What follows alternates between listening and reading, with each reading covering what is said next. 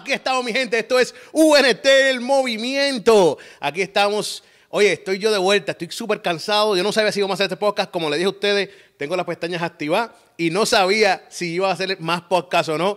Estoy como que retirándome del juego ya. Estoy viejo para esto. Me puse calvo en este estrés.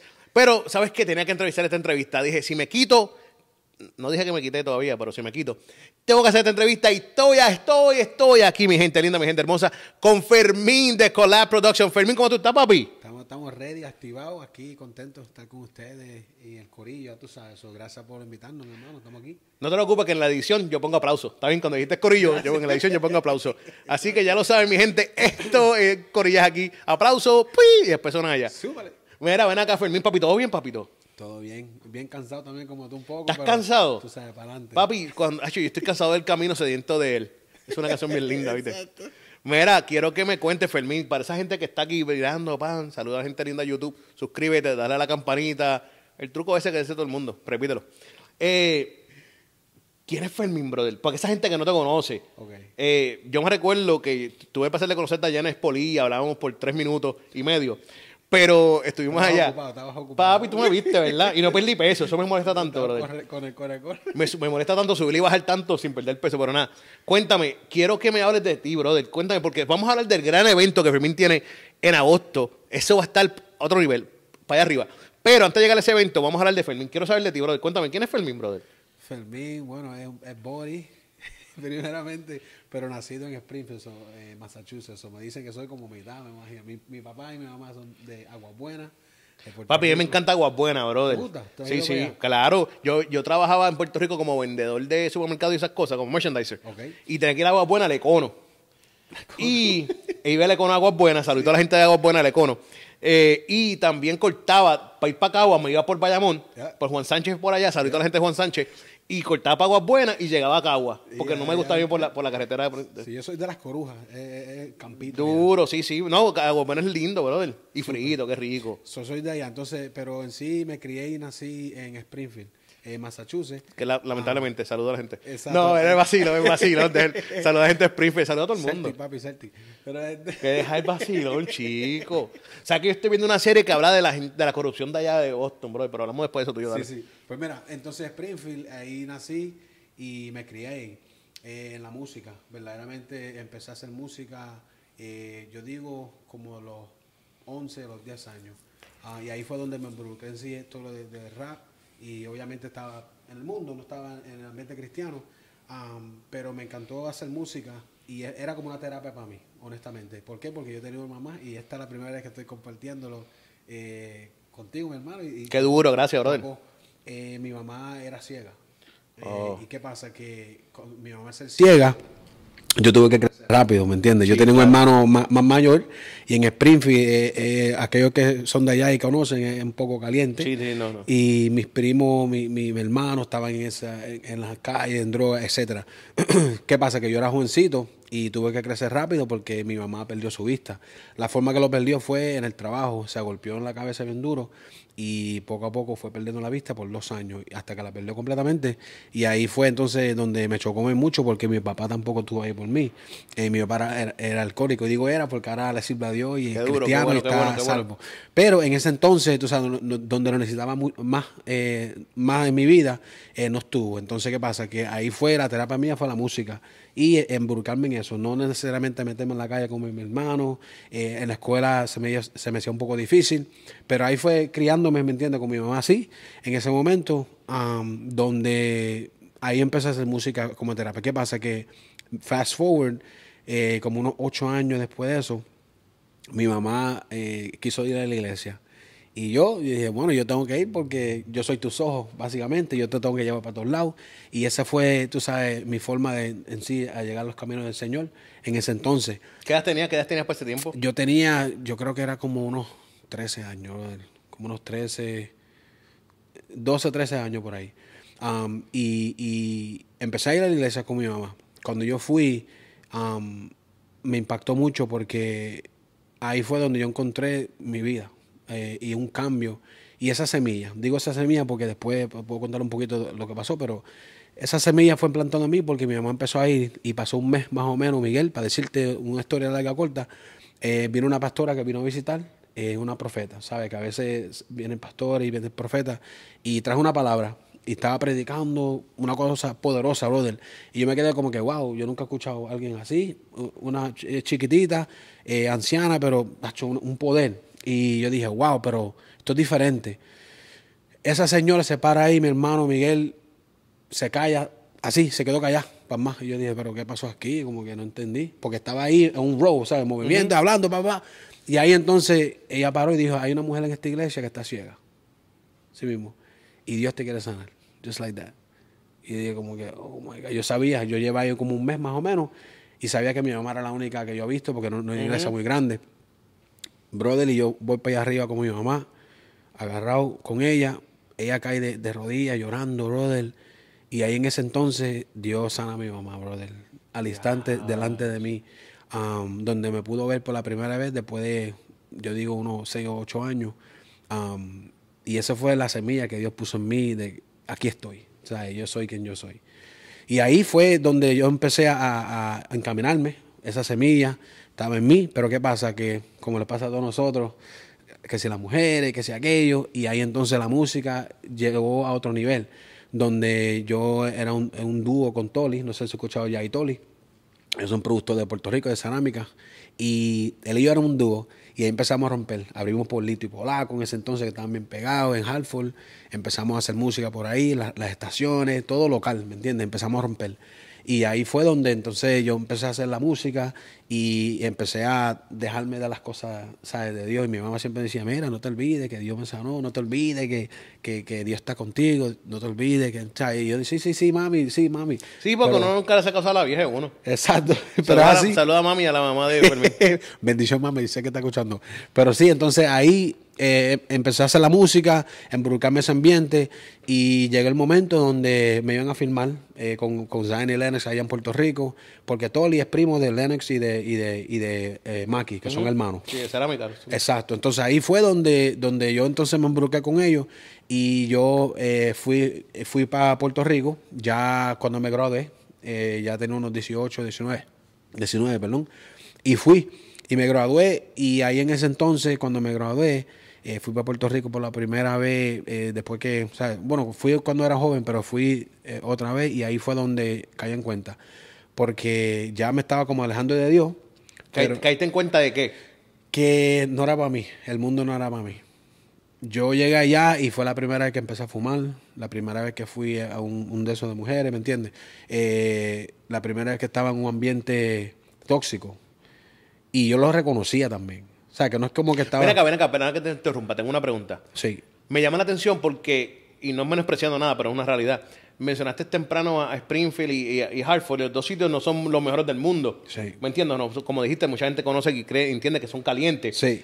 ¿Cómo fue que nunca estuviste en Hartford y en, y en Springfield, en lugares tóxicos, como en Puerto Rico, ¿Por qué allá no estuviste en esos sitios? ¿Qué, te cuidaba a ti? ¿O que tú entiendes que te cuidaba que nunca llegaste a esos lugares tóxicos allá? Honestamente fue mi mamá. Tu mamá. Eh, y siempre la mami, ¿sabes? Ya cuando uno se separa y uno sabe, cuando está, no está en casa y es como que uno está solo y empieza a bregar en cosas. Pero eh, mi mamá me ayudó mucho, me inculcó mucho y estaba bien enfocado en la música también. ¿Sabes? Iba para Cajetol y todos los días. Eh, el estudio de él era como una sauna, bro.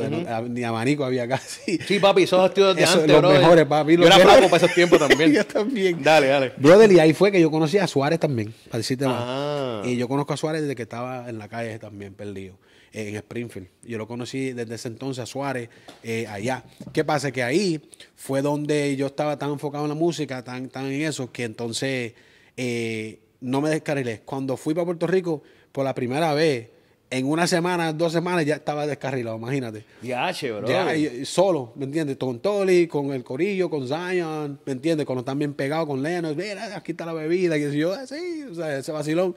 Pero ya yo tenía esa semilla, ¿me entiendes? Entonces ya entonces yo dije, pero como esto no, como que esto no es para mí, eh, aquí no me toca. Pero no decía nada, ¿me entiendes? Seguía en el, en el rumbo eh, con ellos, mira, sí, de todo eso. Entonces me, me, vine para atrás para Florida. Eso entonces yo me mudé de, para decirte más, cuando yo me gradué, me vine para Florida porque mi mamá quiso mudarse para Florida. Y así yo llegué aquí, en Orlando. Y llegó y, yo tenía una tía acá, y tú sabes cómo es, conoce un familiar y, empieza con ellos. Yo vine, me mudé para casa de mi tía con mi mamá Y, y, así fue donde yo primero quise venir para Florida, pero ya tenía empezado mudarme para Puerto Rico, para pegar la música. Pero acá yo me, entonces me, me, quedé. Yo voy para Puerto Rico, regreso para acá, Toli se va para atrás para Springfield, y ahí, aquí yo tengo ese momento como que, ok, Fermín, ¿qué tú vas a hacer? O te vas para Puerto Rico a hacer música, eh, estar pegado, como lo dice, pero ya tuviste lo que te pasó en un par de semanas. O te quedas aquí, empiezas tu propio camino. En ese entonces no había redes sociales, ¿sabes? somos jóvenes, ¿sabes? Que no había. yo creo que había estado MySpace, también estaba ah, por ahí. Pero anyway, ¿qué pasa? Que, que, ahí fue donde yo caí en cuenta y dije, ok, me quedo, me voy ahí en esa, esa batalla, esa guerra. Y yo dije, me voy a quedar. Y si me quedo, entonces tengo que empezar a moverme por aquí y dejarme conocer, y sea. Y ahí fue donde yo entonces eh, fui para un evento de talento que encontré en el periódico eh, a audicionar y sin embargo ese, esa audición me cambió la vida. ¿Por qué? Porque donde fue ese evento de talento fue una iglesia específicamente. Y ahí fue donde me encaminé otra vez bien y ahí hasta el sol de hoy, gracias a Dios, encaminó. Ven acá, sigue encaminado, qué duro. ¿Sigues, seguiste en la música o te apartaste de la música por un momento? Seguí en la música, eh, me casé, etcétera. Mi esposo y yo todavía hacemos, hacemos música pero me enfoqué más también haciendo, ayudando en la comunidad, eventos de talento, el mismo evento de talento donde yo siento que, que se raíces, fue lo mismo, de, yo empecé a promocionar también y ayudar. ¿Qué pasa? Que, que, también hacía música en esos mismos eventos de talento, sacaba música, estaba, ¿sabes?, en, en, en, todos lados, y seguían eso, ¿me entiendes? Pero no me enfoqué tanto en, la música porque empecé más a, a, a bregar con la comunidad, ministrar, predicar, cosas así. Um, pero sigo todavía en la música. Bueno, que entonces te empiezas, estás acá, en la, te quedaste en la Florida, estás en Orlando y toda esta cosa.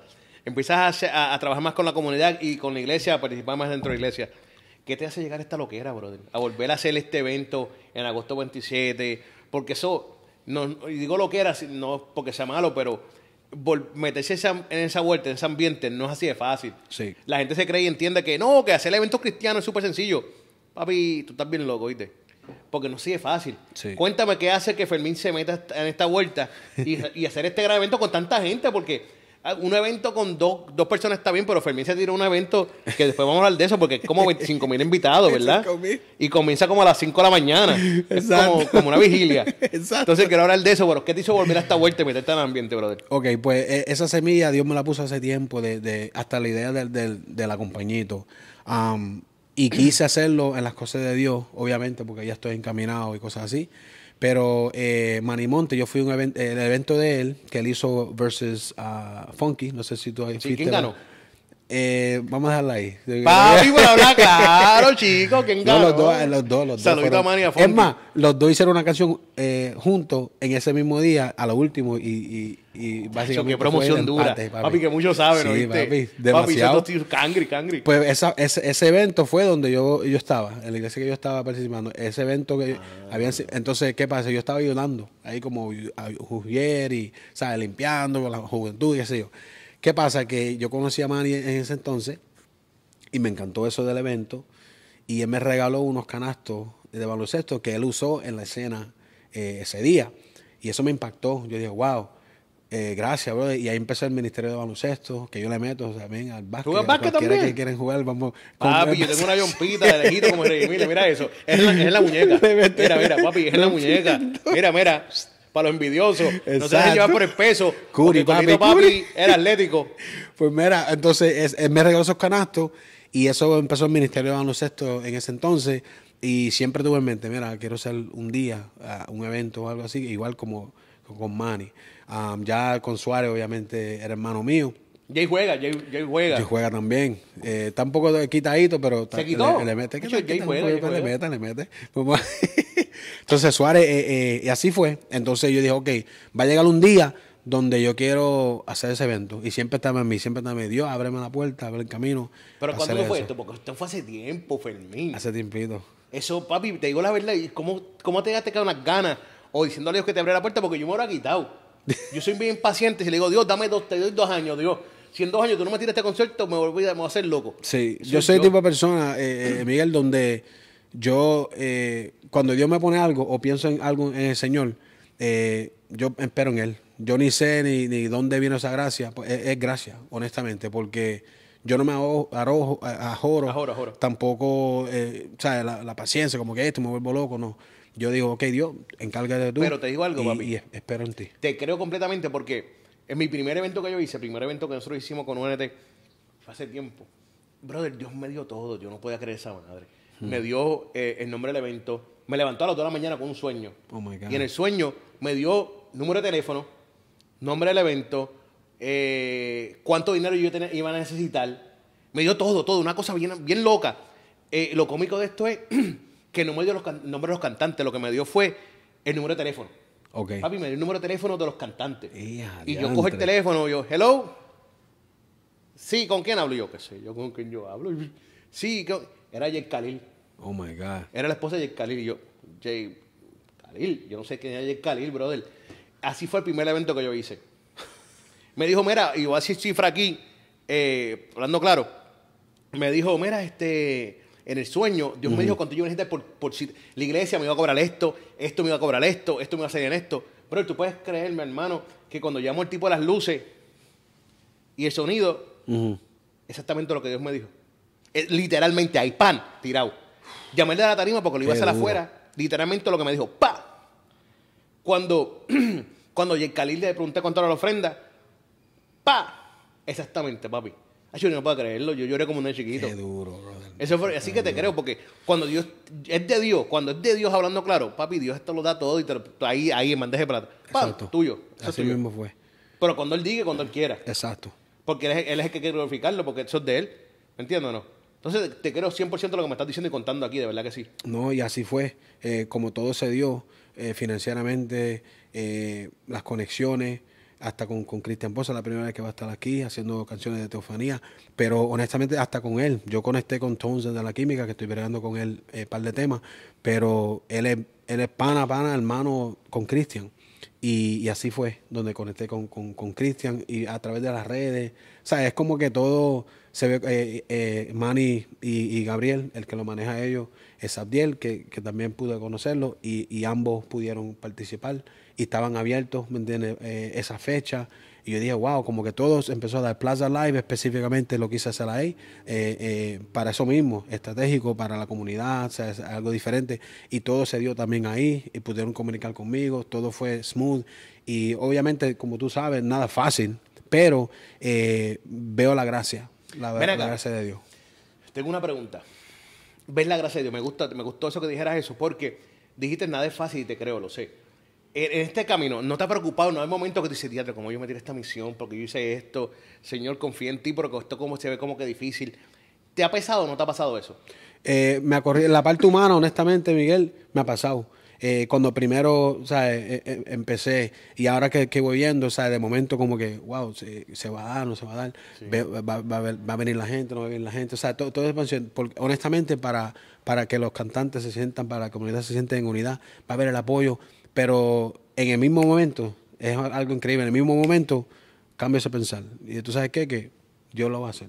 Dios lo va a hacer, va a ver la gente, va a ver la unidad. Y eso es lo que quiero, verdaderamente, unirme eh, y conocer a la gente. Yo tuve un momento donde no conocía a nadie, ¿me entiendes? Y al Espolito, ¿sabes? ah, déjame hablar con él porque él parece que, está haciendo, se mueve y hace cosas. Y, y pude conocer a Ariel, el de la teología, lo conocí ese mismo momento, o sea, hablando con gente y digo, wow, y como todo fue conectándose, hasta en ese mismo momento. Eh, nos respeta. hasta ese mismo momento, o sea, eso yo veo como la gracia de Dios está fluyendo um, en eso específicamente también, conectando, colaborando y, y, ha sentido honestamente el apoyo de la comunidad cristiana, el apoyo del ambiente eh, eh, urbano, um, donde honestamente me dijeron que no había, no estaba. Y también me dijeron que en Orlando como que no se debería hacer las cosas, qué sé yo. Y yo dije, no, tú sabes, yo, yo, yo digo que sí. Y Dios dice que sí. Y si Él me da la luz verde, pues ya, se va a hacer. Pero así fue. Tienes eso, tienes ese evento. Quiero saber que la gente entienda cuál es la visión y la misión de Fermín para este evento y para lo que se aproxima de parte de Fermín y Collab Production también. Quiero que me hables cuál es esa misión y cuál es esa visión, brother. Eh, específicamente para este, para este evento quería eh, unir no solamente eh, o sea, los cantantes que pensé, qué sé yo, pero jóvenes, adultos, algo para todo el mundo. Si tú ves que está Gabriel, ¿sabes? Para los más jóvenes, está Manny, ¿sabes? Para los más viejos. Para los más, más mayores. Para Manny, papi, ¿qué voy a decir algo? Manny, ¿Qué voy a decir algo, papi, voy a decir algo aquí, Manny. Manny Montes, no fui yo, fue Fermín. No, Ahora no, poner el no, no, evento. no, no me- Fermín aquí en directo te dijo viejo. No, papi, no. pero no es por nada, Manny. Manny, Manny, es, Manny es una cosa extraña y... y Funky, yo sé que Funky va, va toma unas pastillas ahí que le ayudan con la piel. Pero Manny, Manny toma pastillas y Manny se ve súper duro de joven, brother. Sí. Porque Manny yo lo escuchaba cuando era un chamaquito y soy un viejo. Sí. Yo dije, ¿cómo yo caramba yo escuchaba a Manny cuando yo era chamaquito? Y Manny se ve igual cuando, ve cuando yo igual. lo escuchaba, brother. Exacto. Eso- y eso no se meta las mismas pastillas que se toma Funky. Ay, Dios mío. To- Funky se toma una pastilla de palmolive ahí. Era, pero... eso es Dios, eso es Dios, esa es la gracia de Dios. ¿Verdad sobre- que sí, brother? hermano, Y la envidia mía. Es así, yo necesito esa gracia también. No, pero este, eh, y fue así que, que la visión, conectar todo el mundo, los más jóvenes, pero igual, colaborar, la obra maestra, poder tener la comunidad. Y quería también específicamente, porque yo, yo me sentí igual cuando estaba comenzando en las cosas, en la música, eh, oportunidad. So, quise atraer a, a lo- a los locales, a los más nuevos. Ya tengo eh, un par de gente que, que quieren participar en el próximo. um, y eso ya se está alineando eso. eh, por la gracia de Dios, sin embargo, ni, ni pensar todavía 100% lo que voy a hacer.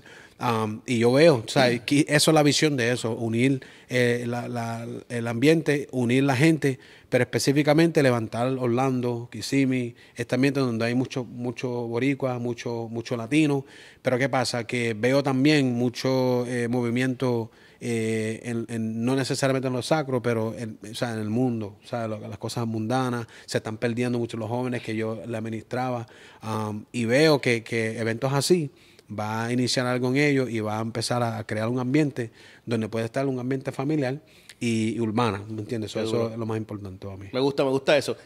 Te voy a hacer una pregunta. una pregunta que, que no quiero detalles porque no me tienes que darle detalles. Ok.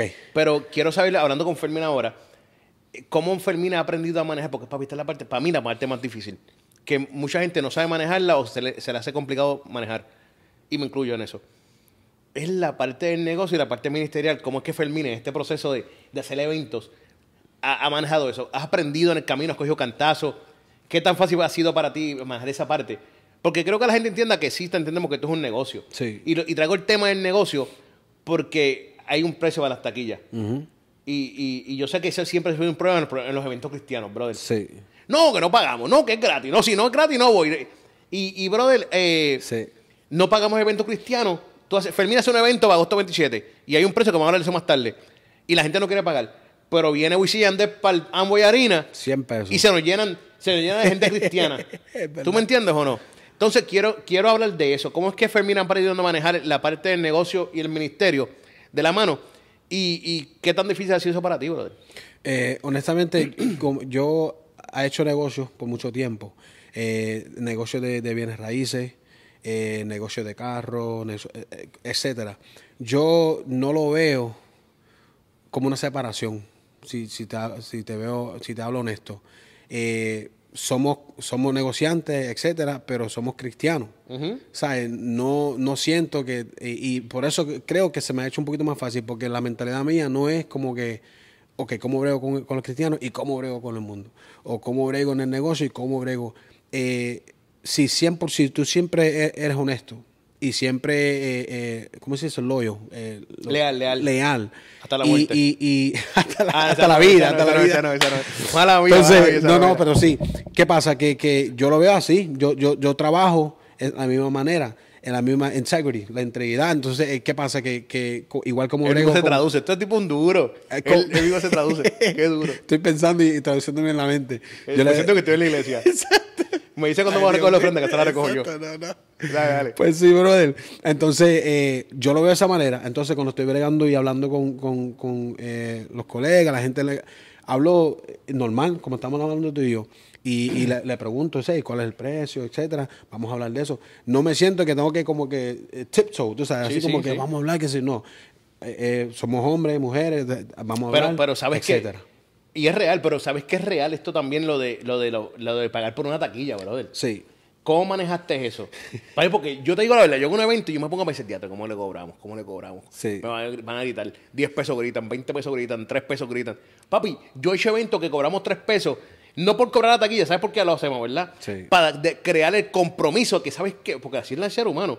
Ah, yo di tres pesos, tengo que ir obligado porque yo no voy a perder tres pesos. ¿Tú me entiendes? ¿Sabes por qué te lo digo? Por- para crear ese compromiso es como Aldi. Tú sabes, supermercado, saludo a la gente de Aldi, auspicio no pagado. ¿Sabes qué te digo, verdad? Sí. Ellos pusieron esa pesetita en el carrito de, de- de compra. Sí. Esa pesetita, brother, nosotros votamos pesetas diariamente. Pero adivina qué, brother. Esa peseta nos da el compromiso de llevar el carrito para atrás. Es verdad. ¿Ah? Y lo llevamos, porque yo veo gente que, papi, yo me incluyo, que llevamos el carrito para atrás ¡ca! para coger la peseta para La atrás. peseta va atrás mío. Cuando yo voto 25 centavos por todos lados. Sí. Y, y yo he, he estado en momentos en lugares que cobro 3 pesos solamente porque el compromiso y a veces ni llegan. 10 pesos, 20 pesos ni llegan. Y a veces que sí llegan, no te digo que no. Sí. Quiero que tú me hables cómo, cómo fue ese proceso, porque sí hay un precio, mi gente. Pero es que, es que Fermín está haciendo un evento. Fermín tiene que correr con varias cosas: el, el local, el venue, lo- los cantantes, que, que hay que bendecirlos. Llámale una tarifa o llamarles ofrenda, como tú quieras llamarle. Hay que darle algo, hablando claro. Sí, la- los pasajes. los- Todo, los bro. Sí. Ah, Mándalo a comer a, a Wendy, anuncio no pagado. Eso también. Era, díselo, papi, Wendy, 4x4, algo así. Ahí está. Mira, mira, pero en serio, eh, eh, ¿dónde la gente, cómo tú, tú, cómo tú has, has trabajado esa área? Ok, so, honestamente, cuando primero lo puse, eh, lo puse a un precio, tiene un poquito más alta. ¿Por qué? Porque pensé en eso también. Yo dije, ¿tú sabes qué? Que, que si el mundo, en el mundo pagan por, igual como tú dijiste, ¿por qué no para las cosas de Dios? Y, y, y específicamente este es mi primer evento, ¿me entiendes? So, yo Sí. estoy, ok, vamos a ponerle ese momento porque yo he pagado por evento, yo he pagado eh, porque yo no tengo esa mentalidad. Y es una mentalidad. ¿Qué pasa? Que lo bajé un poco, pero lo, lo quiero dejar como está. ¿Por qué? Porque siento que en el ambiente cristiano hay que crear, ah, y digo crear porque siento que no está, eh, como un, un- una costumbre, o tienes que disipular, como decir, y, y, y ser firme, y esto es lo que se va a hacer, y crear ese momento, ¿me entiendes? Para cambiar esa mentalidad. Porque existe, existe la mentalidad de, "Mira, yo quiero todo gratis. Existe la mentalidad, ¿y qué pasa? Y vamos a ser honestos, y, a- y, es, y es triste, pero es, por, es, es una de las razones, pienso yo, siento yo, y mi opinión, donde hay muchos creyentes que no, no tienen dinero que se pasan eh, por ahí, ¿sabes? pelados, qué sé yo, o, en el gobierno, qué sé yo, y es por la mentalidad. No es necesariamente, eh, bueno, estoy esperando que Dios me bendiga, y qué sé yo. Si Dios nos bendice con dones, Dios nos bendice con eh, eh, eh, mentalidad, Dios nos bendice con, con oportunidades, Dios nos bendice con inteligencia, todas estas cosas tú lo puedes unir y entonces tienes que aplicarlo. ¿Entiendes? Y es una mentalidad, es una creencia, tiene que obviamente orar y creerse yo, pero no va a caer de, un árbol, no va a caer de los cielos, etcétera. Dios nos da los dones para entonces nosotros poder aplicarlo y hacer eh, todo lo que... Entonces, así es, es una mentalidad que hay que entonces cambiar, siento yo, en el ambiente yo, yo te cristiano. hablar claro, y, y yo soy bien claro, el que me conoce sabe que yo soy bien claro y transparente, y te voy a decir esto con mucho respeto. Cuando yo vi el precio, dije, el tipo se va a dar contra la pared, dije yo, ¿te ahora es claro? Dije, el tipo se va a dar contra la pared porque el cristiano no va a pagar eso. Entonces, lo estoy diciendo claro en la cara, te estoy mirando a los ojos, Sí. lo dije. Cuando vi que, que, que bajaste el precio, dije, ya sé yo con la pared. Y espero que no lo baje de ahí. Dije yo, espero que no lo baje de ahí. Te lo estoy diciendo claro. ¿Por qué? Porque yo entiendo que el error del cristiano, de nosotros, es que hacemos eventos en iglesias. Y estoy hablando claro, mi gente, y no cojan esto mal. Si lo cojan mal, brega con el caso. No, vamos a- Cuando vamos hacemos el hablar evento en iglesias, estamos comprometiendo nuestro evento a que es algo simplemente directamente para los cristianos y lo, y lo, y lo entienden que Ahí es está. algo cristocéntrico. Ahí está, Y cuando tú lo haces fuera de la iglesia, lo sacaste de las cuatro paredes Exacto. y ya es un evento regular. exacto. Y al hacer un evento regular, tú tienes el derecho de cobrar, o, o sí, de cobrar lo que tú deseas o entiendas, porque ese es tu producto. Al sacarlo de la iglesia. Por eso es que yo entiendo y admiro que lo hagas sacado de la iglesia y lo hiciste en el lugar que hiciste. Exacto. Y, y de verdad, te lo digo en la cara, cuando vi el precio dije, se va a dar con la pared porque cristiano no va a pagar eso. Porque no estamos acostumbrados. No es algo que siempre son en iglesias y no, nunca hemos pagado porque, mírate esto, va a hablar claro, iglesia, si tenemos ¿Cómo? que con eso, si yo lo hago en la iglesia y yo cobro, le tengo que dar la mitad a los chavos al pastor de la iglesia. Ok. ¿Me entiendes? No no? sabía eso, ok. Sí, sí, le tienes que dar la mitad a los chavos al pastor de la iglesia, la otra mitad es para los que cantaron Ok. y tú, pues papi, nada. ¿Tú me entiendes? Por amor al arte. Exacto. Es una realidad. Pero tú sacarlo fuera de la iglesia, brother, ahí te das, la, te das la habilidad de decir, sabes que esto es un evento. Exacto. Y aquí yo puedo cobrar lo que quiero. Y creo que estoy de acuerdo contigo en el factor que tenemos que educarlos. Tenemos que educar a la gente enseñarle, mira, esto es lo mismo que tú haces cuando, vamos a ver, claro, cuando vino Maver- Maverick City, brother. La taquilla Maverick City te van 80 pesos. Yo no estoy comparando tu evento al de Maverick City, ni menospreciando el tuyo, ni menospreciando el de ellos. Sí. Pero muchos de nosotros, incluyendo a mami, yo pagué 80 pesos por 5.